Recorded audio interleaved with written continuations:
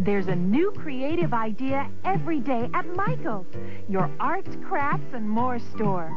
With a huge new selection in our floral department and America's largest custom framing and art shop right in the store, Michael's has the answers. The decorations and crafts for every season of the year, and the classes and creative advice to help bring out your best. So let your imagination go to Michael's, your creative idea store.